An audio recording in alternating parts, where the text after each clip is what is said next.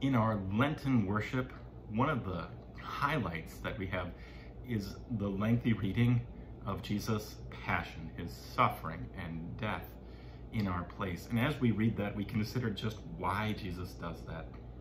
To pay for your sins and mine, a suffering, a sad suffering that is mixed with joy. This coming week, as we read that passion history, we'll begin by seeing how Jesus came into Jerusalem as our conquering king to cries of Hosanna, save us. What Jesus' name means, he saves. They cry out to Jesus that he would save them. And yet as we continue on, we see Jesus knows how that's going to happen, that he suffers and dies, and it begins by predicting his own betrayal. Well, as we see that and we recommit ourselves to our struggles with sins again and again, day after day, we see that same cry and we raise that same cry like the psalm that we'll sing in our midweek services reminds us. It's in Psalm 14 where it discusses, David discusses how the wicked seem to have their way with God's people and yet God arises.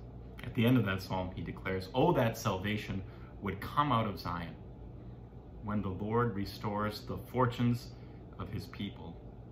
Let Jacob rejoice and Israel be glad. As we focus on the suffering and death of our Savior Jesus, don't take your eyes off of this. From the very beginning, he comes to save his people from their sins. And so, yes, while we may have muted and quieted joy, it's joy nonetheless in knowing that this suffering accomplishes our salvation. Salvation has come out of Zion. As near Jerusalem, Jesus paid the ultimate price that took away our sins, nailed them to the cross. So from the very outset, as we see this passion history unfold and we consider his suffering, remember why.